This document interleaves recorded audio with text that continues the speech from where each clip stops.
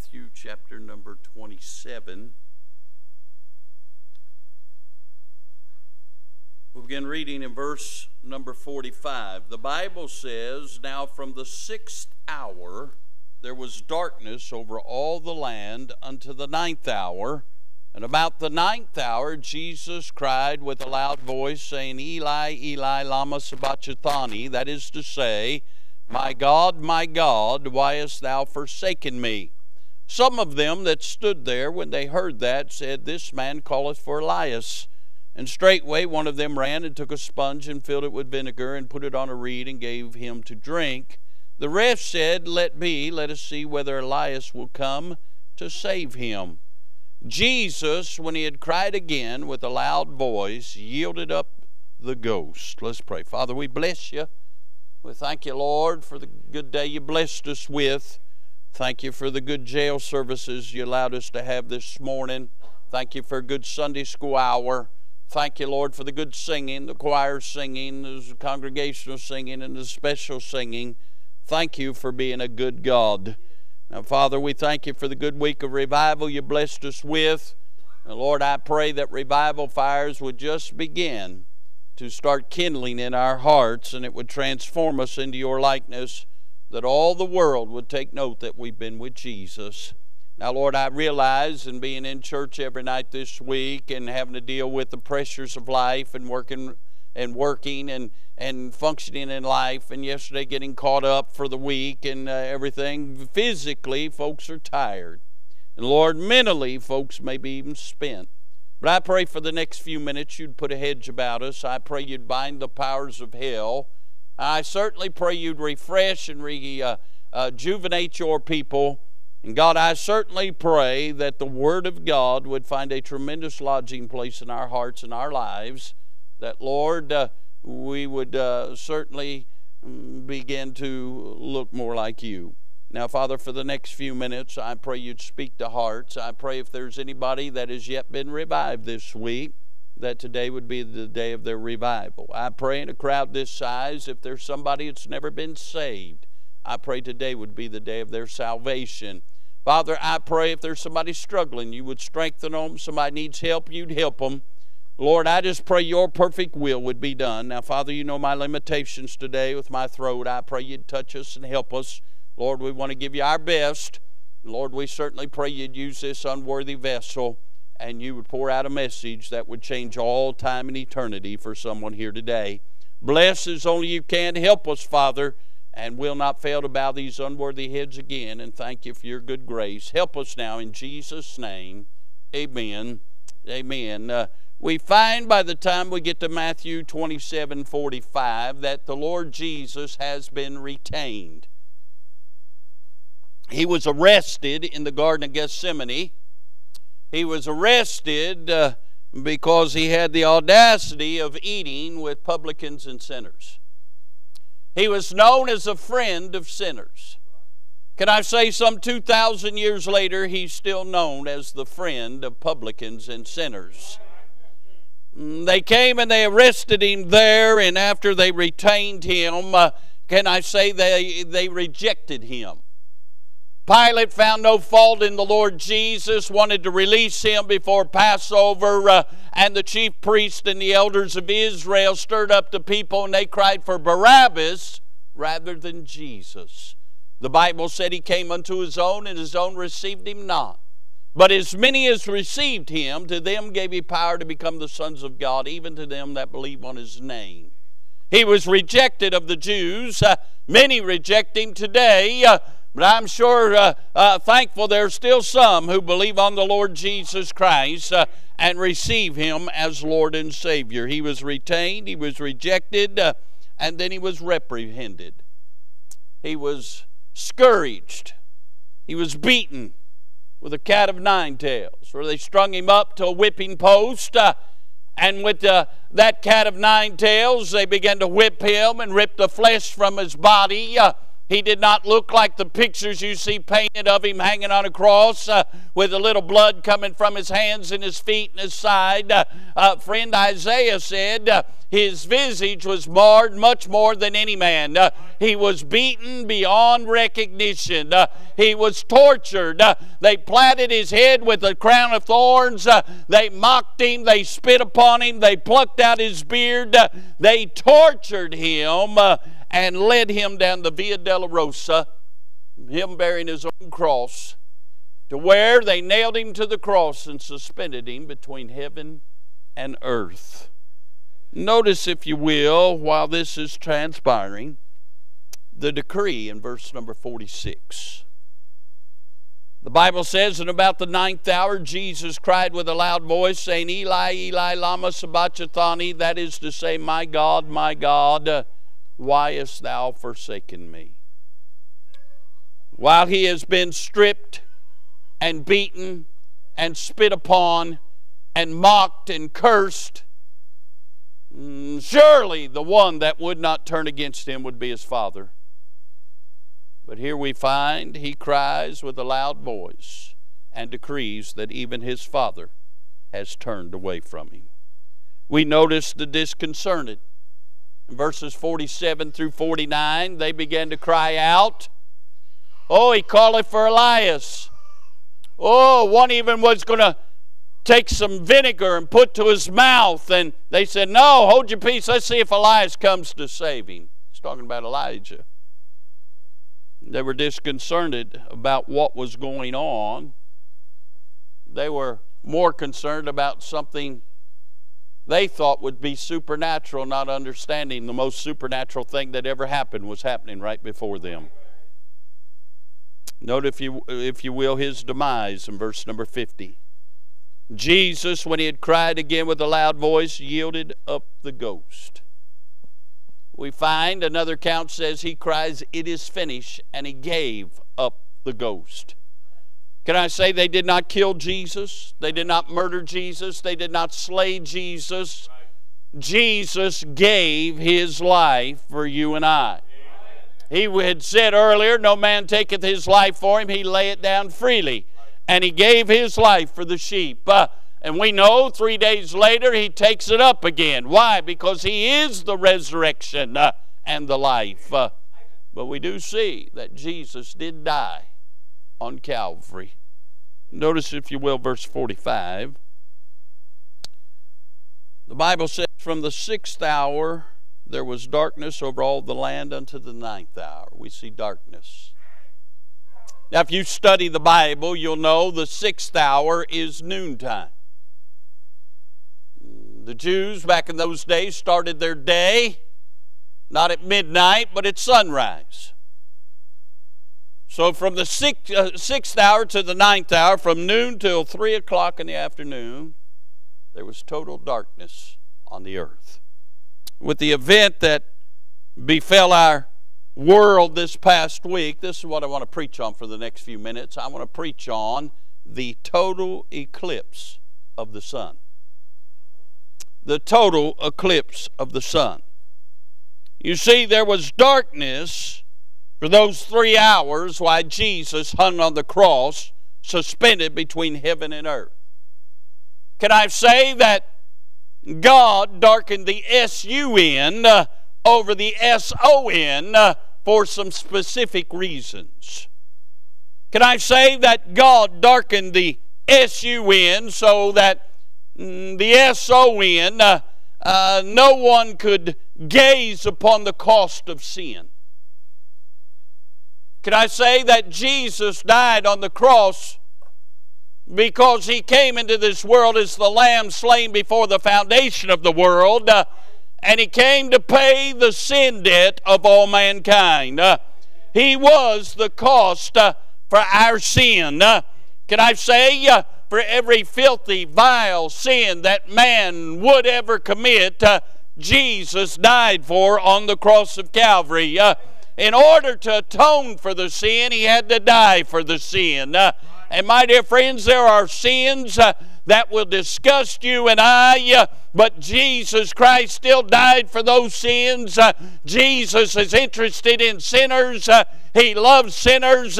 Hates sin but loves sinners, uh, and he died for the sin of mankind. Uh, and when God laid on him the iniquity of us all, uh, and God imputed unto Jesus Christ uh, the sin of all mankind, uh, and he became our sacrifice, uh, our substitute, my dear friends, it was so hideous that God turned out the sun so no one could gaze upon that hideous sight. God did not want man to gaze upon the cost of our sin. Just think about it, Brother Ron. He who was holy became the most vile. And God didn't want anybody to look upon that. The pureness and gloriousness and holiness of Christ was turned into the most vile and despicable because of sinful man. And I say God darkened the sun over the sun so that one couldn't grasp the condemning separation. When Jesus cried, My God, my God, why hast thou forsaken me? You've got to understand the Godhead had always been one. God the Father, God the Son, and God the Holy Ghost agree as one. They've always been uh, three different separate personalities, but the same person. Say, explain that. I can't. My little feeble mind can't, uh, can't grasp it. Uh, but there is the Trinity of the Godhead. Uh, they'd always been one. Uh, but when the Lord laid on Jesus Christ the sin of mankind, uh, uh, uh God the Father had to turn his back on his Son because God cannot accept sin. matter of fact, you go and study the Genesis account, you'll find that light was here before the sun or the moon. Because light comes from God.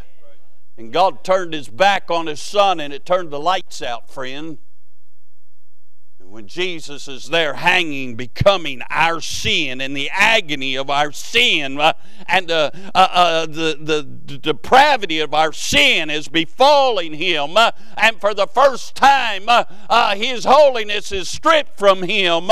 and my dear friends, in that weakest moment when he needed the Father the most, God turned his back on him.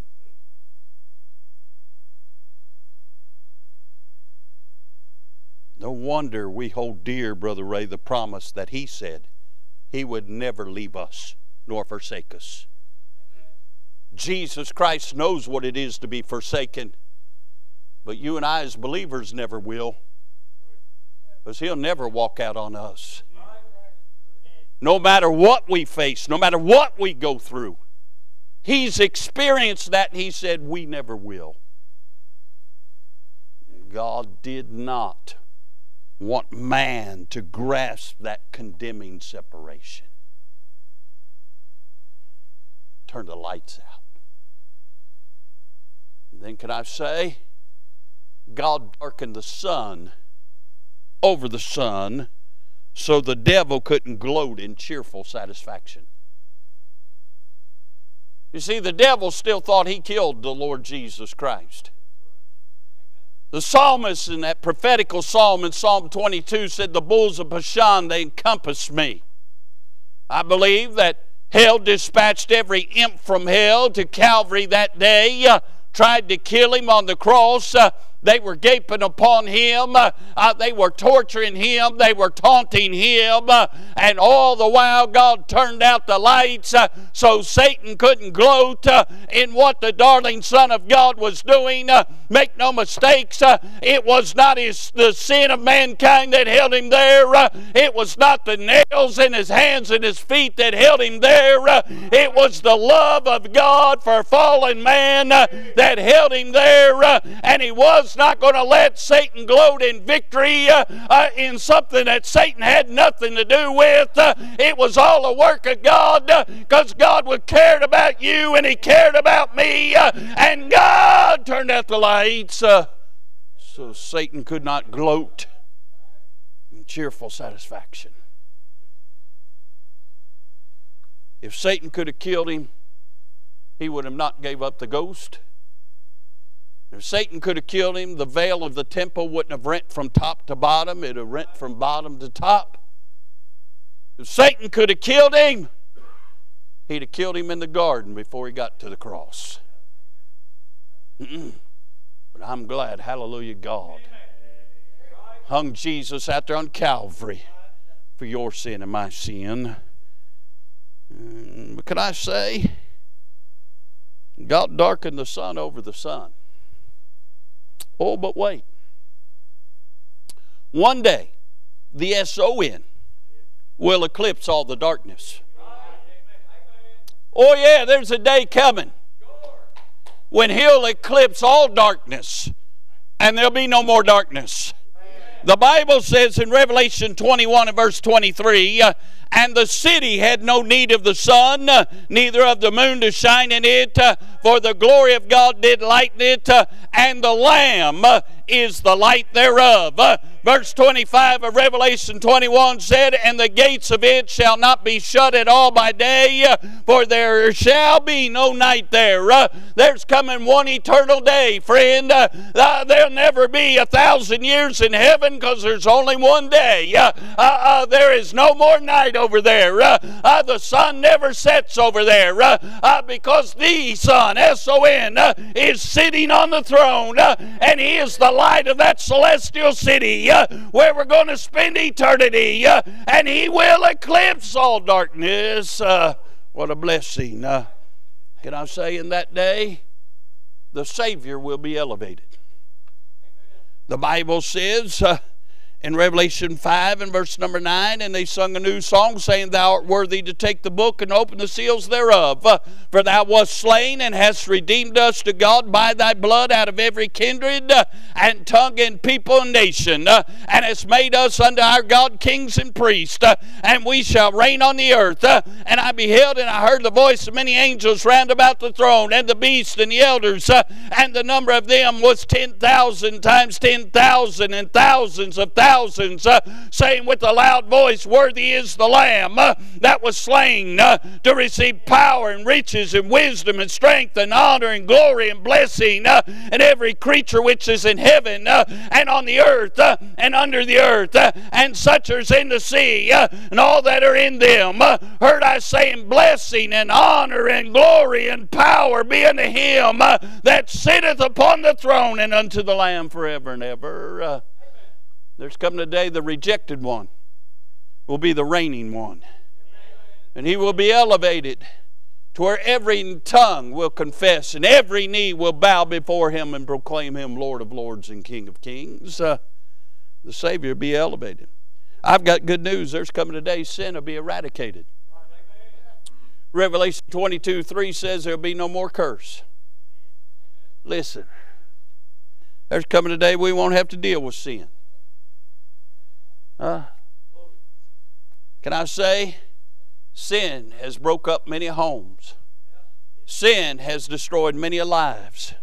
Sin has dragged off many people off into hell. But There's coming a day there'll be no more sin.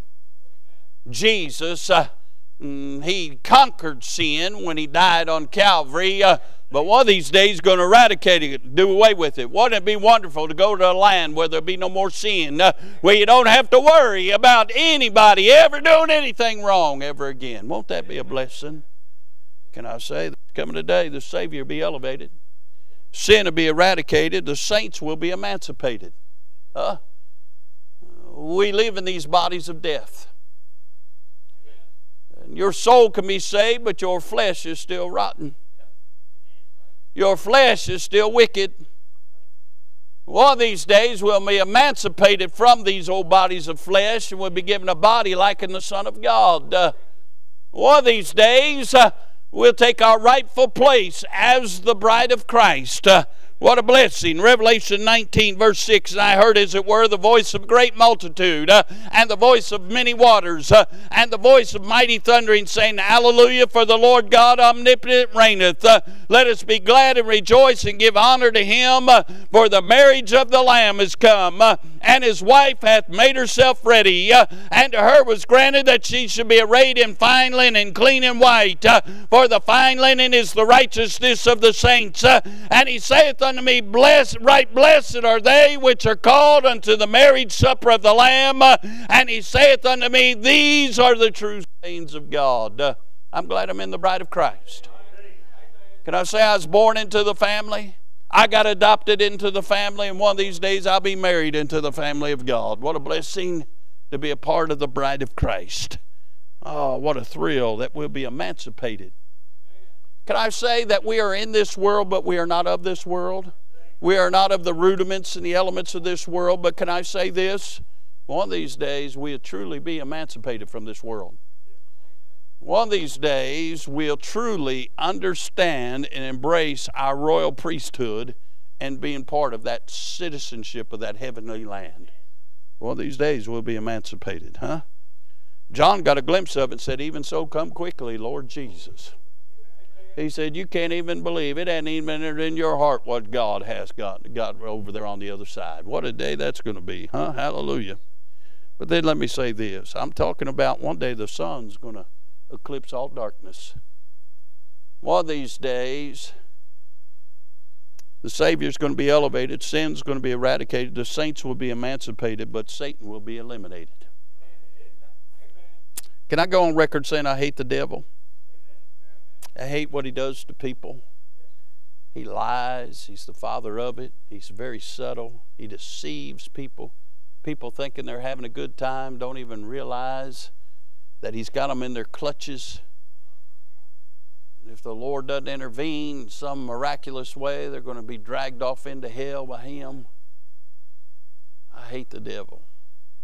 I hate all the pain, all the sin that he's caused every lie that's ever been told, every murder that's ever been committed, every rape that's ever been committed, every human tra- trafficking, every every uh, uh, wicked thing done to a child, every every fa- sorry, no good sin that has ever been done, uh, every home broken up. I mean, every problem in this world it was caused by Satan.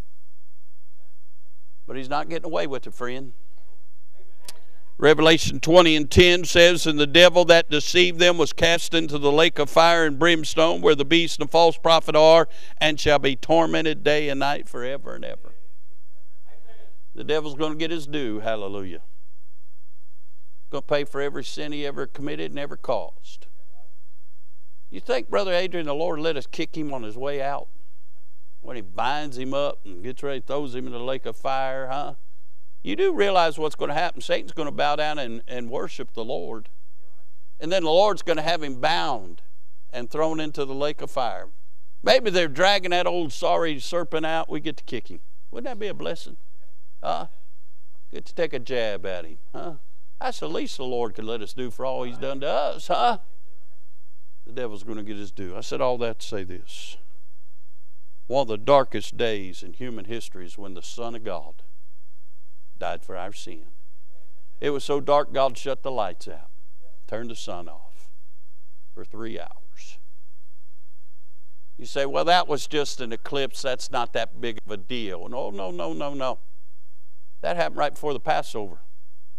Passovers always happens when there's a full moon. There's no eclipse when there's a full moon.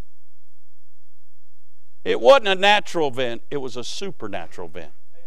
It was God induced. Hmm? It was one of the darkest days of human history. But neighbor, very soon is going to be one of the brightest days for the redeemed. When the Lord's going to take his church home. The only thing that really matters is are you ready to meet the Lord? Have you ever trusted in the Lord Jesus Christ as your Savior? He went through the dark days so you could realize the glorious days. He came to die for your sin and to save you and change your life. Say, what's it take to be saved, preacher? Well, you've got to realize you need to be saved. You can't get saved till you get lost. When you realize He died for your sin because you cannot earn the, fa- the favor of God outside of the Lord Jesus Christ. Only He could appease the wrath of God. And that's what He did on Calvary. Realize Jesus will save you from your sin. Say, preacher, how do you get saved? It's very simple. Once you realize you need to get saved, the Bible says, call on the name of the Lord. All the whosoever believeth on the Lord shall be saved. Whosoever shall call upon the name of the Lord shall be saved. All you got to do is come put your faith in the Lord, He'll save you. You got to believe that He died for your sins and was buried and rose again according to the Scriptures. If you believe that in your heart and are willing to ask the Lord to save you, He'll save you. So, how you know? That's what He did for me. 50 years ago. And He'll save you, friend, because He loves you. That's why He died for you. So I didn't ask Him to die for, it, for me because we didn't have sense enough to ask Him to die for us. We're too busy trying to find fig leaves to cover our, uh, our nakedness and our sinfulness. But it took something greater than that. It took a work of God. It took a work of God to create man, and it took a work of God to allow man to be regenerated. And the only way we can be regenerated is by the blood that was shed on Calvary. Can I say this? Jesus loves you. He wants to save you. Wants to make a new creature out of you. And he will if you allow him. But for you and I that are saved, we get to looking around, things are getting darker and darker and darker. That's okay. One day the light's going to break through. Because he is the light. And one of these days, He's going to take us home. So just hang in there, neighbor. It'll be all right. One of these days, He's calling us home. And our darkness will be done away with forevermore. Let me ask you a question. Are you in darkness today? You don't have to be. Why don't you step into the light? Let Jesus change your life. If you're saved, are you living like you're saved or are you still walking around in darkness? Why don't you step out of that darkness and into the light? Walk in the light as He's in the light. Huh? Why don't you let the Lord help you today? Say, preacher, I didn't get anything out of revival. Get something out of it today. Why don't you come get some help? Let the Lord change you. I'm here to tell you. All the world was in an upheaval Monday because of an eclipse. They started selling them goofy glasses six months ago. April 8th, eclipse. Uh, you know why? Because natural man really cannot have any answers for the phenomena of God. So it's an event. Can I say the greatest event is when natural man comes to trust in a living God and he changes their life. So today, if you don't know him, we'd love to introduce you to him. There's nothing like the Lord Jesus. Oh, what a relationship you can have with Almighty God who gave his only begotten Son for your sin. For God so loved the world that he gave his only begotten Son, that whosoever believeth in him should not perish, but have everlasting life. He came to die so that you and I could live and live for all of eternity. Do you know him today? You can. He wants you to know him, and he'll change your life. Say, Preacher, I know him. What a blessing. Are you living for him? Because there's a whole world out here that doesn't know him and they need to see what Jesus Christ, what a difference He can make in somebody that's put their faith in Him. How about it today? Do you know Him? Let's all stand. Brother Clint, you come get a song of invitation. God spoke to your heart. Why don't you come? Put your faith in the Lord. We invite you to come. The Spirit of the Lord invites you to come. Church invites you to come. Why don't you come? Maybe you just need to come and thank Him for dying for you. They sang that song, Thank You for Saving Me. Maybe you need to just come and thank Him for saving you. Maybe you just need to come tell Him you love Him. They're picking out a song. Let's have a word of prayer. Father, we bless you. Thank you, Lord, for giving your life for such a worm as I. Thank you for being so good to us. Now, Lord, I pray if there's any amongst us, and Lord, I don't know anybody's heart, but if there's anybody amongst us today who doesn't know the Lord, I pray today'd be the day they'd give their heart and life to you. Lord, if there's folks here that are saved but living beneath their privilege of as a Christian, I pray they'd come get things made right with you. Maybe somebody just needs to come tell you they love you or come tell you thank you. Lord, whatever the need, blessing this invitation. And Father, we'll not fail to praise you and thank you for all you do. For it's in Jesus' wonderful name we pray. Amen. Did you know that you could receive a daily devotion every morning in your inbox? Head on over to ibcflorence.com and click on Daily Devotions to sign up today. And as always, thanks for listening.